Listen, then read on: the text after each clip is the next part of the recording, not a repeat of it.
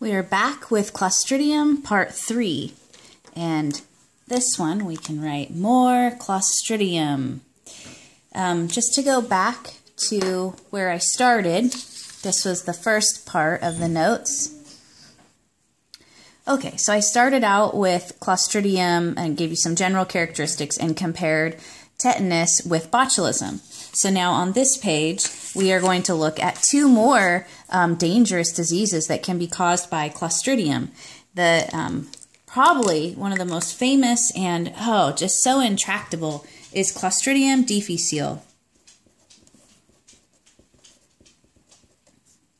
Just like all the uh, diseases and organisms we're talking about on this page, it is a gram-positive rod endospore former and those little endospores are why it is so tricky to treat um, Clostridium because it just keeps coming back. If antibiotics are given to treat this, then the bacteria might die, but it forms endospores before it dies. And then as soon as the antibiotics are gone, any little endospores that were able to remain in the intestinal lining can germinate and the infection can come back. It is really infuriating to treat. So um, let's go ahead and highlight this in yellow. And um, you guys are going to get to listen to my seven-year-old practices piano, I guess, today. Okay, so let's go ahead and do um, orange for the um, simple columnar epithelial cells of the intestine. So I've put down here simple columnar epithelium of the intestinal mucosa. And what happens is um, that the Clostridium is making toxins. So uh, it's gram-positive, so I'm going to color it purple. Here are the little gram-positive rods.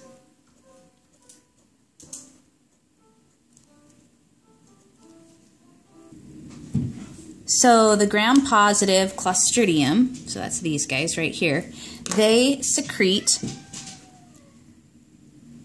this toxin that is a cytotoxin and an enterotoxin, and so it is going to hurt these cells in the intestinal lining. Um, here are these are a couple of a couple more intestinal cells, and yes, they are not doing well. Look how sick they look. Okay, so what happens is these cells are damaged by the enterotoxins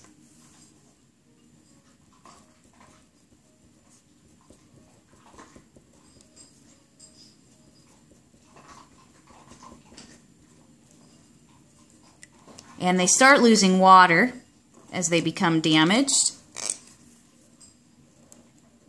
It's one of the effects of the toxin.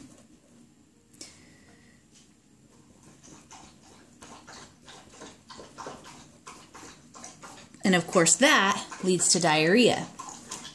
But then what happens is that some of the cells actually, um, as they die, they start to kind of slough off the intestinal wall. And what that does is it attracts white blood cells, which, of course, um, as we've been learning about the immune system, you know that they are associated with inflammation. So you get these white blood cells and these dying or sick um, or dead cells um, and the bacteria all together, and you can actually get get what's known as like a pseudomembrane. Um, it's it's like this uh, plaque of infection, almost like a pus pocket on the intestinal wall.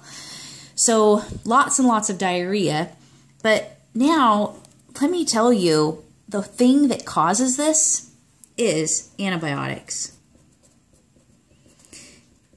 There are occasionally cases where someone just gets it out of the blue but most of the time it's antibiotic associated. What that means is if someone is prescribed antibiotics, if they have to take those antibiotics, they are increasing their risk for C. diff.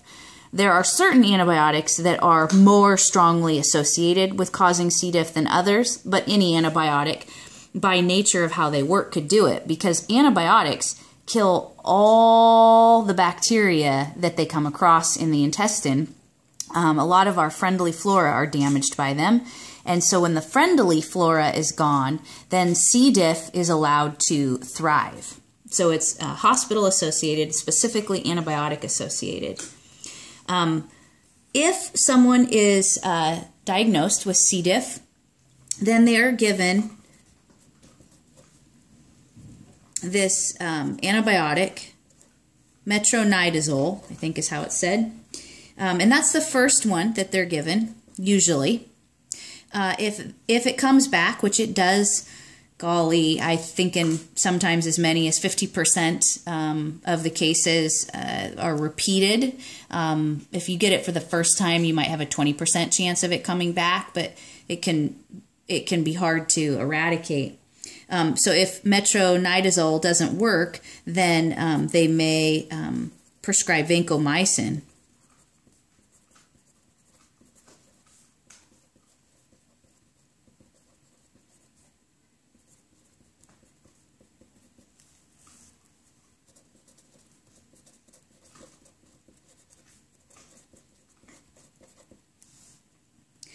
um, one exciting thing because isn't do you see the irony here?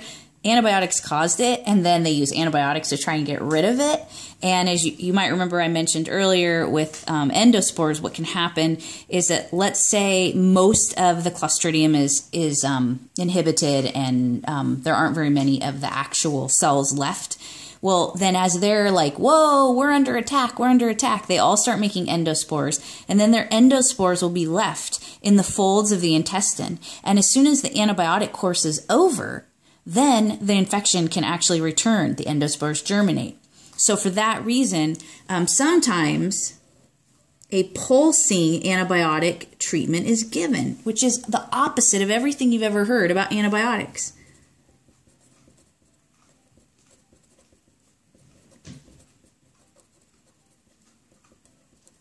And what happens is they will treat with the metronidazole and then they will wait a week and then they will treat again. So in that week, the endospores may have um, germinated and then they go at it again. And then they might have to do that three or four times. And ironically, when that's considered bad for most antibiotic treatments, it's sometimes the best way to go after C. diff in those really bad cases. Um, and then another exciting uh, thing they can do is that sometimes it is cured with a fecal transplant.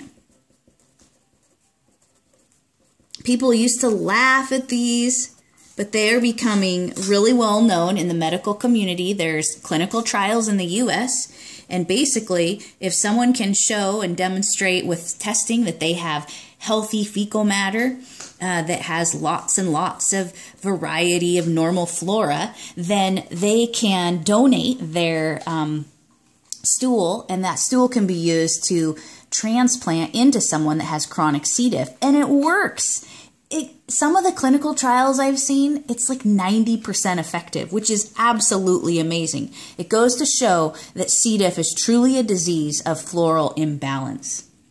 Uh, another thing I ran across when I have been studying this is that Saccharomyces boulardii this is a yeast, has been used in some clinical trials to inhibit C. diff. It seems to be um, somewhat effective uh, a treatment to prevent it coming back again. Um, be, and what they think is that the yeast may um, give off chemicals that inhibit the C. diff.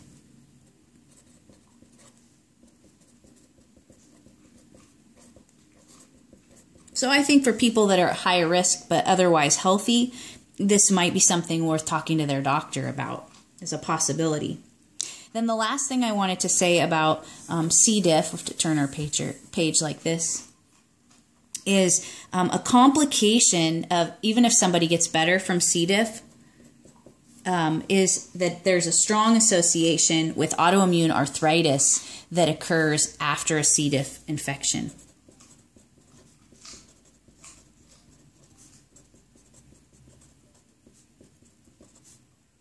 It's called post C. diff.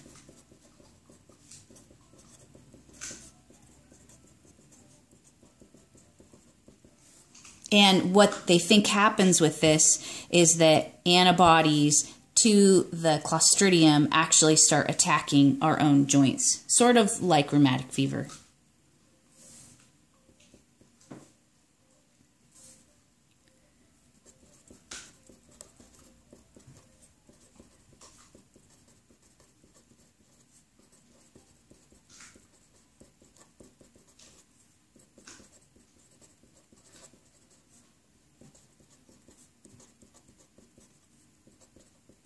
But it ends up hurting us. Okay, sorry that that was so messy. I'm going to stop there, and then in the next segment, I'm going to talk about gangrene and how that can also be caused by Clostridium.